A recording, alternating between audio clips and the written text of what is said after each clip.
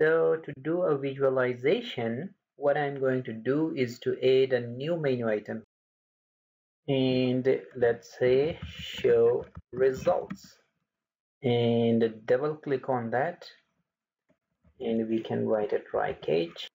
So in this try catch, let us select one of the random uh, values from this predicted label. So first thing first I need to do is to declare them on top so that I can use them uh, as globally because the results are over here. So I just will go there and uh, I'm just adding them here. So let's initialize them with null and also this one to be null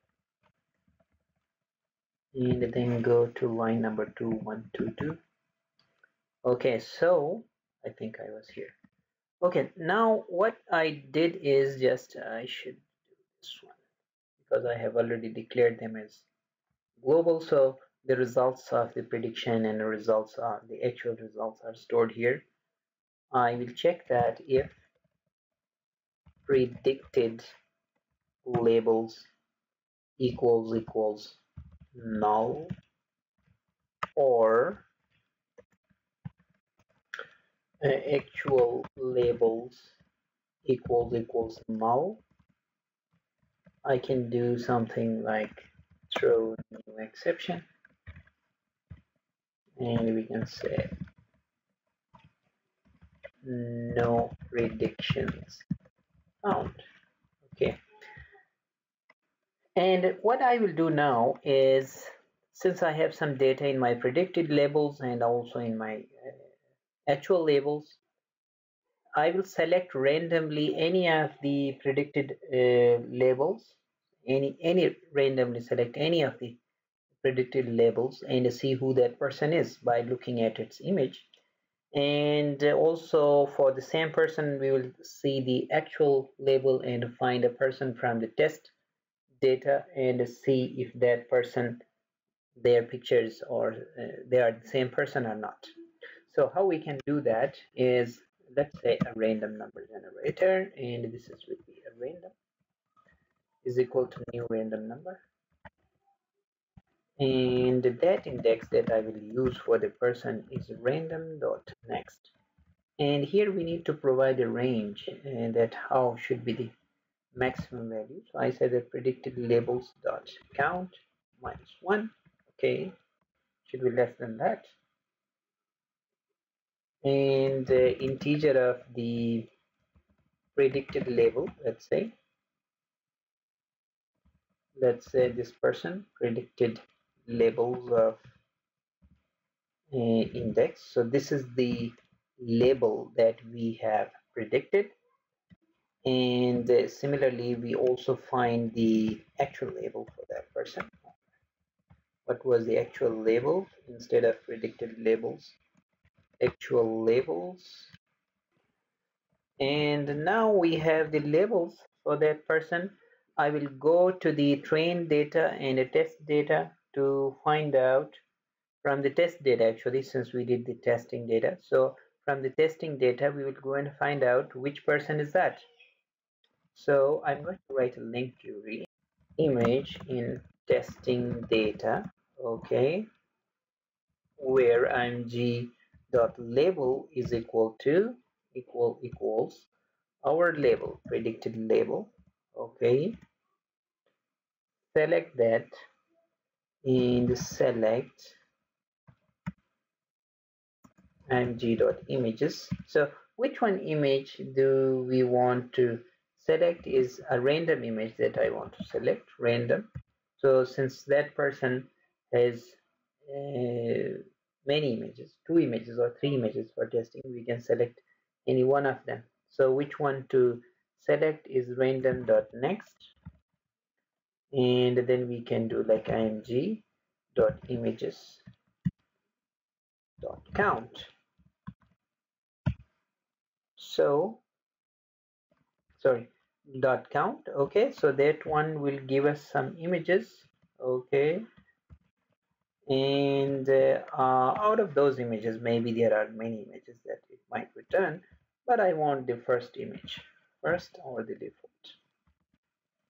And clone that image. I just want a, a cloning. I don't want to the reference. In fact I need the actual image a, a copy of that image. So we read a random image from the test data whose label is same as the prediction label and I also do the same thing for the actual label. So in this case we call it the actual image and we are comparing with the actual label. So if both labels are same then this one this one should be the image of the same person. The images may be different but it should be of the same person if the labels are not matching then definitely these will be different images. Okay if they are same we want to see them if they are same or not. And also we can uh, optionally put a text on them to show which one is the predicted one and which one is the actual one. So we can write a, uh, put a text on CvInvoke dot put text on this predicted image predicted image and we say this one is the predicted image. Just predicted. And the location of this point let's say at position 3030 any location that you want phone face dot phone face dot let's make it the simplest one. Or the plain one and the scale should be the same as we have and a new scalar that the color that we want is let's say 255 or if it is a white then it should be a black and that's it. Okay so this is the text that we put for the image and we also do the same thing for the actual image also and we give it a title that this is the actual image. And then we can create a montage of the image by horizontally concatenating an image. So in my previous videos I have shown how to concatenate different images together. If they are of the same size then we can use the OpenCV's concatenation as well. So let's say that helper class dot h h horizontal concatenate images is predicted image comma actual image. And we can save them in a result of let's say output or img output. And this one is saying uh, cannot convert from gray to an RGB image. If that is the case we can easily do something like this. Convert BGR comma byte. That's it. So simple. And also for this one. And then we can show the result in a picture box dot image is equal to img output dot so for this AsBitmap you also need to install a new package that is emgu.cv.bitmap otherwise this function will not be available so let's go ahead and test once again. So face landmark load the data. This is the data that I loaded.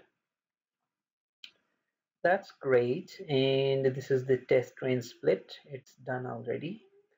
And the HOG feature extraction it is also completed and then train SVM okay the model trained model is also loaded and the test SVM on the image that is excellent. So we have an accuracy of 97% so only one case has failed here.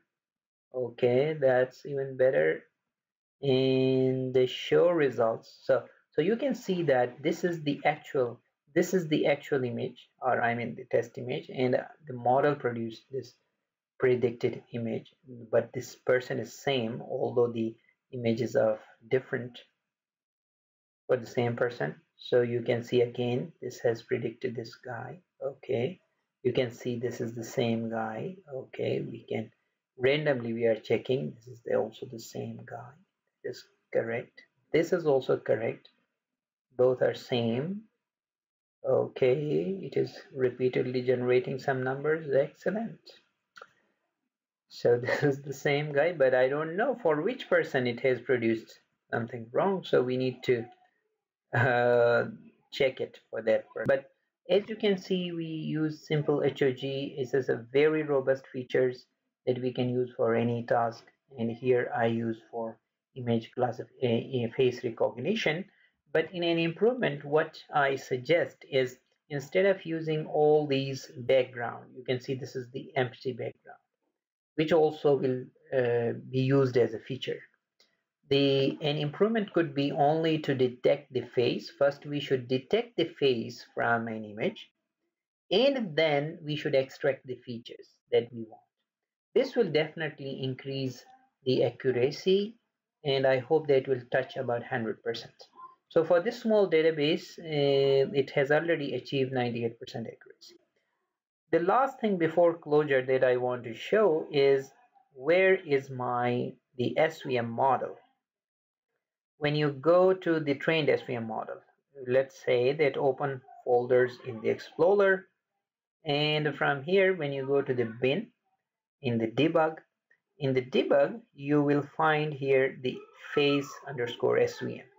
So this face underscore svm, which is a 46 MB file, and we can open it and see what is written inside it. So this is the actually the model that I save here. You can save it anywhere. You can load it from the, there, whatever you want. As you can see, some of the ideas that we have already used is the kernel that we have used, the type of the SVM that we have, the gamma, the value of the C in all those parameters, plus the learned support vectors for each class have also been stored here. So I hope this uh, tutorial give you an idea how we can extract the HOG features and how we can use SVM for face recognition and I hope to see you in another video.